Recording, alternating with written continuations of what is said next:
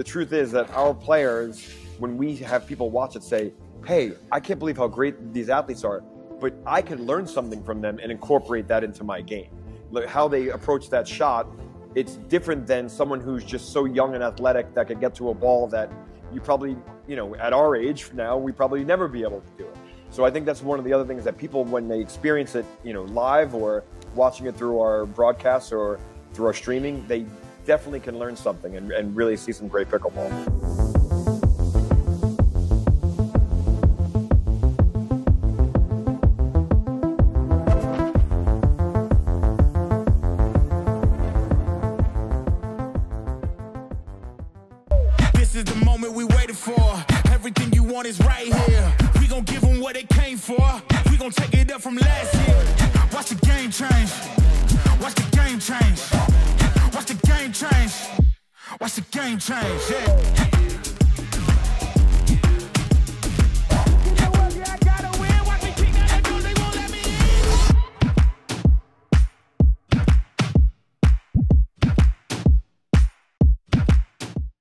Hello, welcome back to the Future of Pickleball.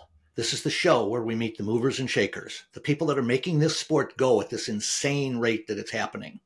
I've got two men on today that are really going to be fun to talk to. I've got Paul Bamundo, who's the CEO of the new National Pickleball League, Rommie Maxey, who's one of the team owners and is developing a phenomenal new club in Houston, Texas. Gentlemen, welcome to the Future of Pickleball. Thank you for having us, Paul. Thank you, Paul. Hey, you bet. You know, I'll tell you, I'd like to start off, Paul Bamundo, the CEO. Tell us a little bit, uh, frankly, first about your your adventure in pickleball. How did you get involved? How did this all come together for you? Well, it's a long story, and it involves me being at a Jackson Browne concert. But um, I, I, re- I, received a text message about was I interested in running a pickleball league, and I loved the game, and it started a conversation. And over the course of many months, uh, got to explore the National Pickleball League and what they were doing in their inaugural season, and where I met you, Paul, at, at uh, Glendale and our championships in, in Arizona last year, and kind of took it from there. I, I really um, became enamored not only with the sport overall, but but the approach that the National Pickleball League had for Champions Pros and the team concept and treating women and men equally in terms of our teams and our points and men's doubles, women's doubles, and mixed doubles. So it just kind of took off from there for me. You know, you're mentioning a couple of things that I've got in my notes that I really want to delve into a little bit because I, I do really what I've seen of what you guys are doing, but I think our public would like to know kind of give us a little bit of a description of how you see your league formed and what the core elements are. Yeah, so we, we started last year with six teams, and then we expanded now to 12 teams. And Rommie uh, and his colleagues and, and the Houston uh, Hammers came on board this year, so we're really excited to now have 12 teams. And we now have, uh, there'll be over 200 players who will experience the National Pickleball League. We have 186 rostered players, um, equally men and women, as I said. So either between 14 or 16 players per team, seven or eight women. We're just giving some roster flexibility based on subs and how many people we need to be there. And they will play in a round robin format where they'll eventually play all of each other. Uh, we travel around to different locations where there are great indoor facilities. One of them happens to be in Houston, where Rommie's home base is for the Houston Hammers. Uh, we finished off uh, our first event in Chicago a couple of weeks ago, and we're coming up on our second event in Columbus. And we basically have one event per month starting in May. So May, June, July, August, September, and our championships in October. And in the preseason, we had our um, combines, as I'd like to tell my friends who I used to work with uh, at the NFL and the NBA. It's not like we're asking people to run 40 yard dashes and measuring their hands and their vertical leap. Um, we had all of our players and potential players playing in front of Rommie and his other fellow owners to try out for the league. So that's the basic concept, and it's a team based concept, and, and, and we love it.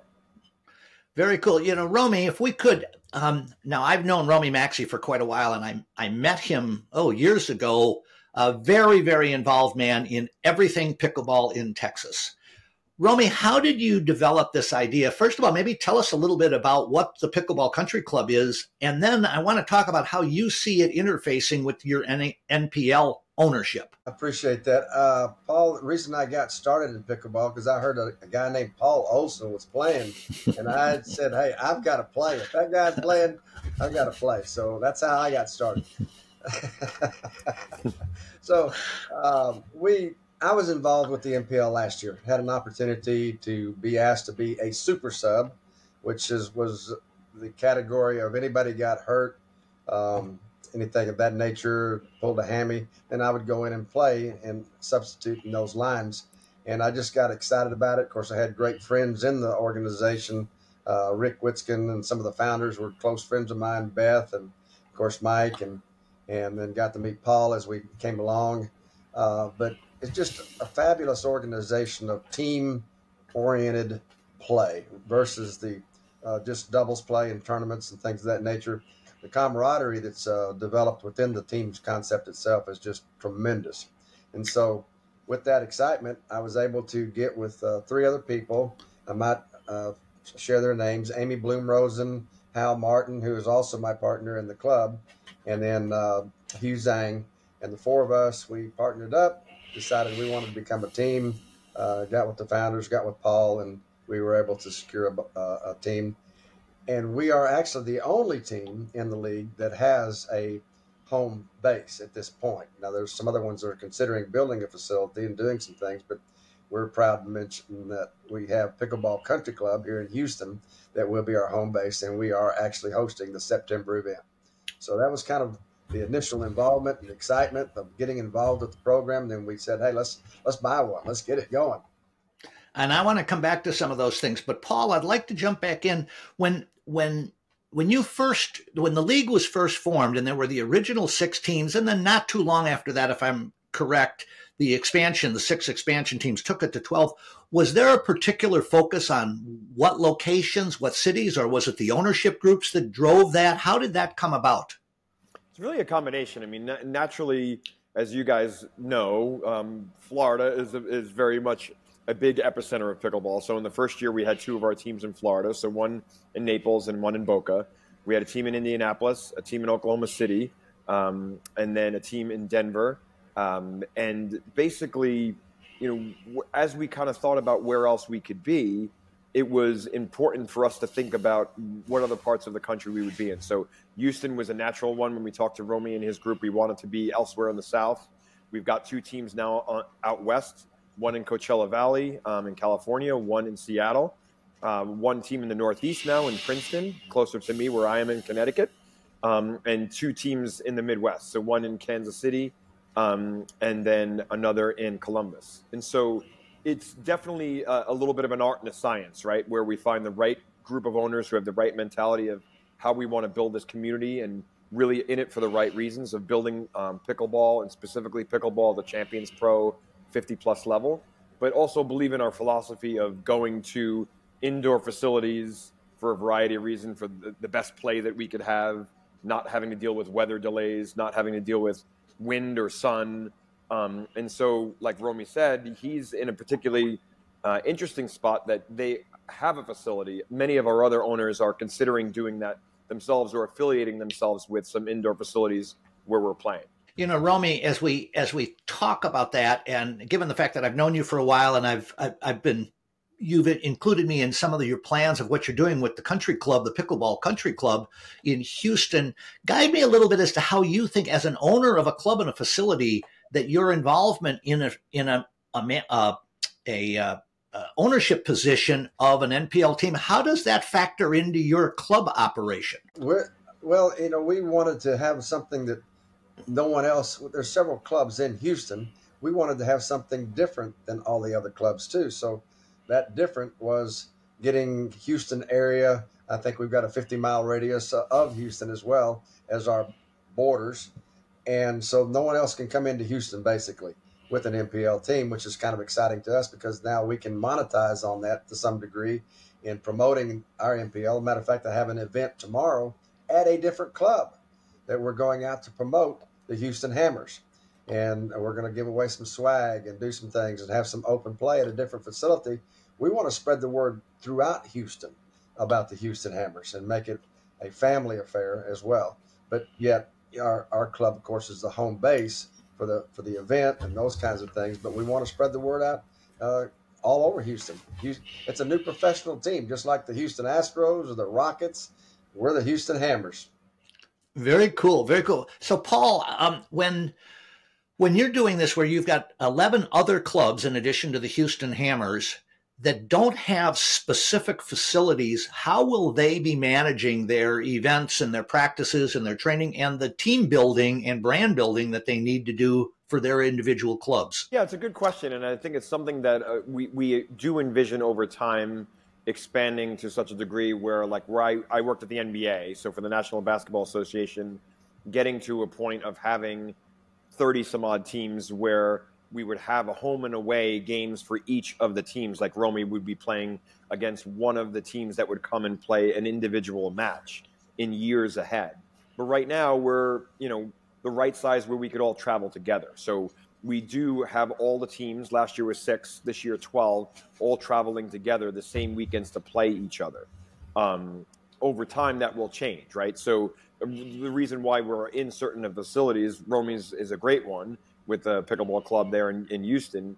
Um, the other ones happen to be in the Midwest this year, just to, just where there are uh, facilities that, that that are available. So the one that we have in Algonquin, Illinois, uh, one coming up in Columbus, then one in Cincinnati, um, and then we're going to be part of PickleCon in uh, Kansas City, which we're really excited about in August, and then we're going to Rommie's facility for our last regular season match. Um, to us, I think that's the right model now, and we're working with our individual teams with the clubs to help promote themselves by putting, say, branding on our uniforms. Right, right now we don't have a brand that goes across the league on our uniforms. We eventually will, but we have many of our teams taking advantage of putting their primary sponsor or you know multiple sponsors on our uniform. Um, there are other ways that they could do things um, with social media, other things doing things locally, like Rommie's saying, um, in their individual market, and we encourage that and support that as a league. So we think there's a lot of possibility both now and in the future for sponsorship, merchandising, licensing. You know, eventually um, we, we now stream all of our matches. We have a relationship with CBS uh, where we had our championships on CBS last year. We'll have another event coming up on CBS. So we're running it like a professional league in any other sport. Very nice. You know, one of the things that I try and do on this show is I try and have people who might watch this from desperate parts of the country learning about possibilities or things that they might want to do. What is the formula that a club has to have for you to be able to host an NPL event in? What is the size and number of courts? Yeah, well, I mean, it's changed, right, from last year to this this year. Last year, we had a very good relationship with Chicken and Pickle, and they, their facilities had courts that worked for us because we only needed six to play on. Um, of course, having more than six was important too to have practice courts and such. Um, this year, we're we most of our facilities that we're in have 12 or more courts to play on um, because we've got the 12 teams.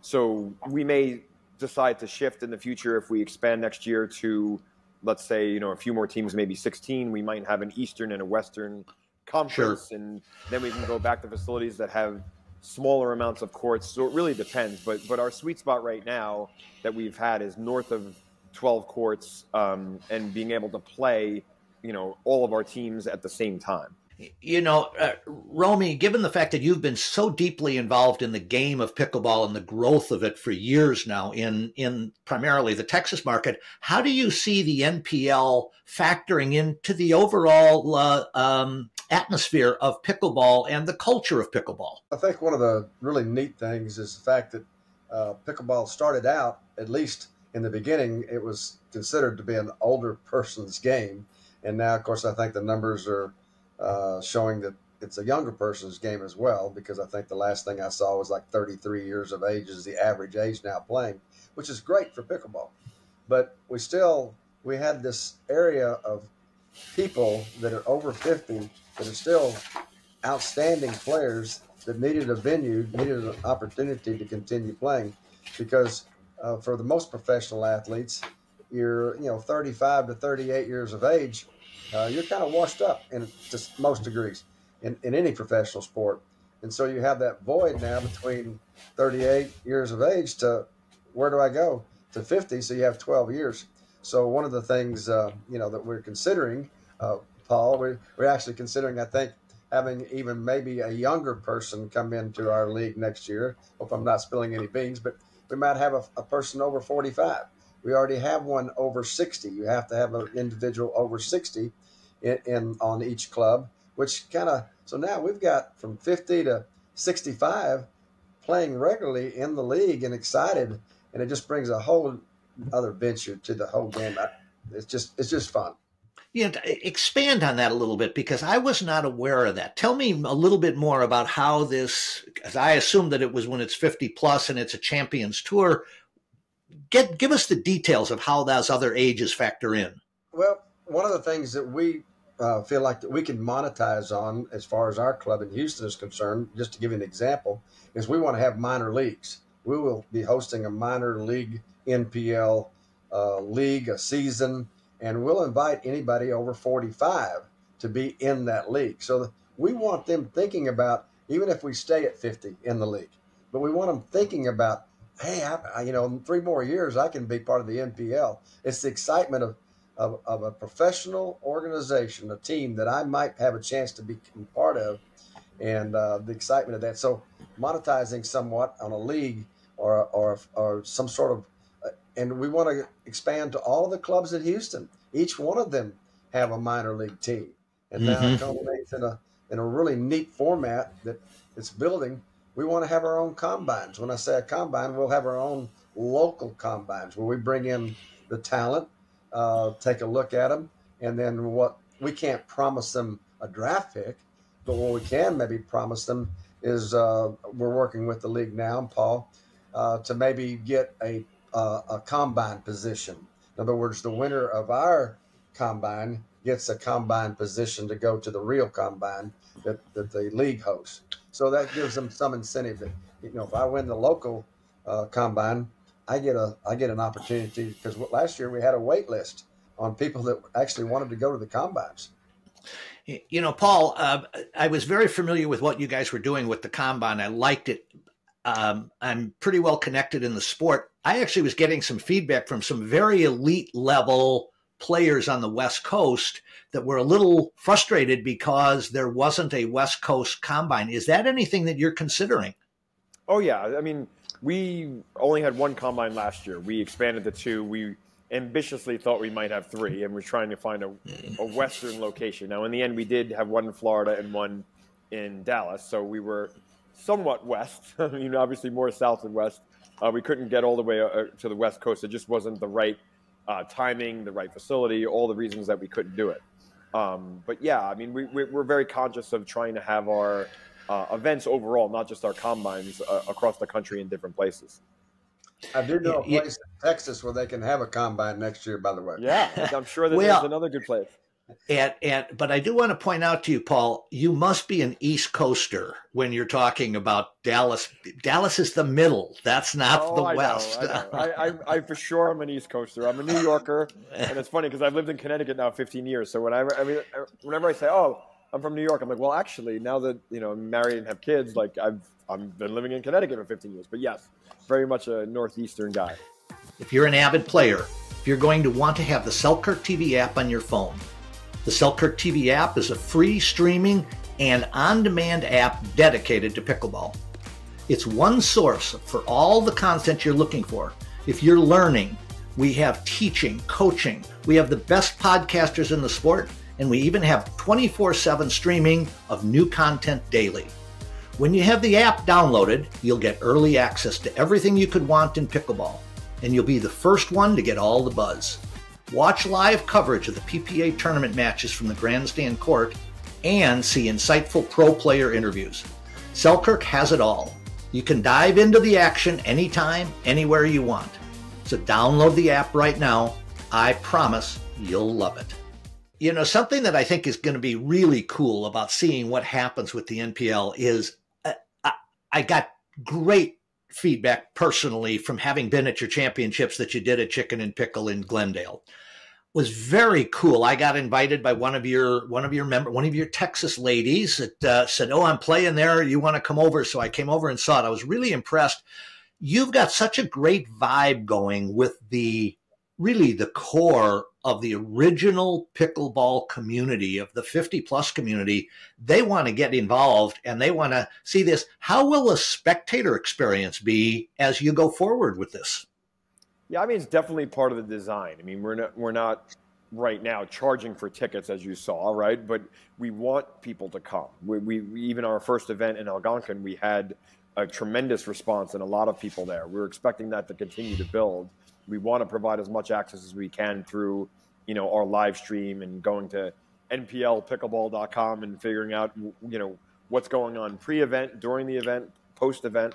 Um, and in fact, in the the next place that we'll be in Columbus, we we will have a stadium seated um, center court with bleachers, which we're excited about. So we're, we're, we're definitely designing for the future where we'll have spectators absolutely in mind and involved. And we know most of our spectators are also players.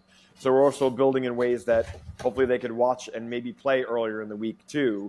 And after we're done, play because we know that that's so much of the beauty of this sport is it's a very much a participatory sport and people of all ages could play. I mean, my 13 and 11 year old right now in Connecticut are taking it as part of their physical education requirement. Oh, very nice. Wonderful. You know, so yes, we're concentrated on champions pros, but we love growing the game really across the board.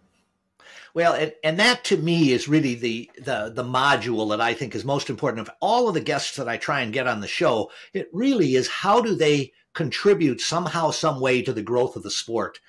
And and the thing that I'm so excited about seeing NPL, I, I wish I was maybe five, ten years younger, but uh, but I'm not, and so uh, I've got to deal with that. But I was going to say that the the ability when people get a chance to see what a what a champions tour level player's game looks like i think they're going to be blown away because we get, have gotten so wrapped up in the ppa and the mlp and the app thinking that the pro game is only about young people.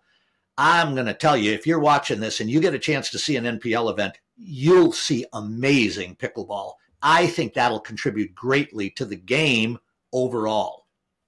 Yeah I you know and I just the, want one thing on that, Paul. I just wanted to say quickly is that we've found um, that the players in our league, people who play and watch them, it's much more relatable, right? So as much as we all like watching the young pros and we all wish we were probably 5, 10, 20 years younger ourselves, um, the truth is that our players, when we have people watch it, say, hey, I can't believe how great these athletes are but I can learn something from them and incorporate that into my game. How they approach that shot, it's different than someone who's just so young and athletic that could get to a ball that you probably, you know, at our age now, we probably never be able to do it. So I think that's one of the other things that people, when they experience it, you know, live or watching it through our broadcasts or through our streaming, they definitely can learn something and, and really see some great pickleball. Paul, Paul, if you don't mind, I'll interject a little bit something. Yeah, please one of the things that we also uh, uh, we're doing some pro ams prior to the tournaments themselves or the or the events. I'll call them events. Um, so, like for Columbus, uh, one of our uh, players is from Columbus, uh, named Sherry Corder. She was our first round draft pick, as a matter of fact. But the point is, is she works at a different club in the Columbus area that where we're actually hosting the event. But we're having a pro am. We're bringing in eight or ten of the hammers, and we're going to host a little pro am, have a really good time bring those folks in. And again, it's a different way of monetizing to some degree, not for our team, but for our players because they have expenses. Sure. so, so what we're doing is having this pro am, and then whatever we can make during that pro am, we're contributing it back to the players for their for their hotels and for their you know any flights and things that they may have. So we're helping them out in that way. But the other thing that I really want to interject, and it's funny, is we actually are very loud, boisterous team at the event. And the very first event, we we've got our chants, we've got our yells, and our and, and so we had. So we are going to teach all the people that come to our pro am our chants, and we're going to encourage them to come to our, to the event and and uh, in Columbus. And we already had a couple of the players come up to some of ours and go, you know, you guys are a little bit annoying and noisy and loud. And I said, and, and you know what our response was? You haven't seen anything yet. yeah, very cool. Very cool. You know, I'll tell you, I, I, I, think that there's so many possibilities when we do these things in a team environment. Um, I've been a big believer that the sport of pickleball could really flourish in a team environment pretty much across the board. So I'm really excited to see what you do with that. You know, Paul, as we're starting to kind of get to where we'll, we'll be a begin to wind this thing down a little bit, guide me a little bit as to what you're coming from your pretty amazing background in the pro sports world. What's your vision, let's say three to five years, of what you think the NPL can accomplish? Yeah, and it's interesting you talk about like how important the team concept is. I've, I've always been involved in team sports. Yes, I played some individual sports, but I've been a team sports person. And we've had such good response from people that have come from other team sports. Like, for instance, Danny Wuerffel, you guys may remember that name. He's Heisman Trophy winner, played in the NFL. He's now one of our players. He loved this whole idea. He got into pickleball like many people did during COVID, playing with his children, playing with his son. And he got hooked into it in such a way that he couldn't stop playing. And he became yeah. very, very good came to our combine, got drafted, and we hear from people all the time whether they came from more natural sports like you know tennis or ping pong or you know other racket sports. Um, we're getting people from all different walks of life that are now coming into the sport, and that's what we see for the future. Is we think there are going to be, as Rommie said, people extending their careers. Most of the people in our league have other careers. They might be, you know, a PhD like Rommie, or you know, another kind of doctor or a lawyer, or you know, a tech entrepreneur or, a business person, whatever they might be in their other walks of life, that they are doing this at a professional level um, to become a professional pickleball player. We love uh, affording people that opportunity. So, in three years, in five years, we see continued expansion. We want to be everywhere across the country. You know, more teams involved. Um, and we're just really excited about what the future has in store. Very nice. I, I, I, tell you, I really find it exciting. You know, Rommie, as being a now an investor and a club owner, and an investor and a team owner, an NLP or NPL, how do you how do you see the next three to five years from a pure business model for somebody who might be watching this, who's interested in getting into the game, sort of at the level that you have? What would be your advice or your suggestions to them? Um, uh, on the NPL side, I think it's just the expansion that we're going to be going through over the next three to five years, and and um, we have the first year to the second year, the costs of the teams went up, and we anticipate the cost the third year going up. So purchasing a team, the value in itself uh, is is one one way, but I think the thing that we want to look at is how do we um, sponsorships and and things that we can do to. We've already have about a half a dozen in kind sponsorships. We we were able to get the uh, players all shoes. Throw my Acacia out there. They we were able to get them all Acacia shoes, for example. We got them sunglasses, indoor glasses uh, for play. One of the things that we're thinking about making a requirement for our 50 and over NPL next year is protective eyewear. Mm-hmm. Uh, and because the paddles are getting hotter and faster, and so it's just a, a good idea. So, but in kind uh, sponsorships are coming in uh, pretty pretty steady. So we're going to monopolize off of that and go into the other sponsorships and with the hospitals and the orthopedics and the people that really back you know 50 and over play.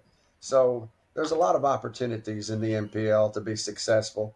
You just have to sometimes think outside the box a little bit to, to make it work, but it's it's not a stretch to see the successes that I think the NPL teams are going to have, and I don't think it's going to be hard for Paul and his group to to be able to locate other owners that are going to have interest in being a part of this organization and uh, coming. By the way, the most annoying team at the tournament is now the championship team going into Columbus. I might add. Uh, so we're looking forward to defending our title in Columbus. Good, good. You know, I'll tell you, it's been very cool to talk to you guys about this. And, and one of the things that I've enjoyed so much about the show that I do is it gives me an opportunity to talk to people who, who all are visionaries in one form or another of having to think about some new, interesting way of, of, of adding something to our sport of pickleball. I think you guys are doing a great job. I'm really going to be excited to watch Rommie, what you're doing in Houston, given the fact that you've got a, a, a club itself. Well, you have 13 courts, I think, don't you, at your club? Yes, sir, 13. And so the I, one right now with nine more. And and it is, but but the idea of that is sort of a case study or a model. I, I think we've got so many builders, developers, um, investors coming into the sport of pickleball. We need case studies. It'll be fun to watch what you do, and if you don't mind, I may stay in touch with you to kind of report on that from time to time. Absolutely. So cool. Well, gentlemen, thank you so much for spending the time with me today. Paul Bamundo, Rommie Maxey, it's been a gas. I wish you all the luck in the world, and I'm looking forward to showing up at some NPL events. Thank Yeah, you, Paul. thank you, Paul. Please come anytime. We'd love to have you. Good. Always welcome. Always welcome. Thank you, guys.